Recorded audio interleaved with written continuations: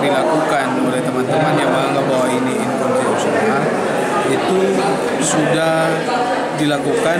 Ada juknis yang nantinya uh, kemudian uh, di mana proses ini bisa dilakukan 14 hari setelah masa konferensi. Tentunya ini kan sudah lewat. Kalaupun teman-teman masih menganggap ini proses yang inkonstitusional ada bisa ditempuh dengan cara-cara yang konstitusional Masih ada cara.